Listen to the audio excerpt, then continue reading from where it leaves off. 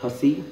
Uh, the chords in the song are F sharp minor, A, C sharp minor, uh, a D and an E.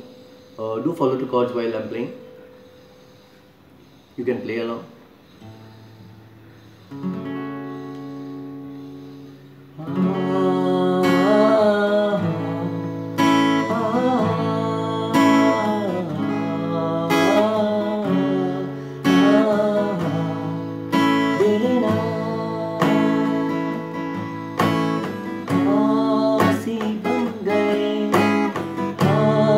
me banda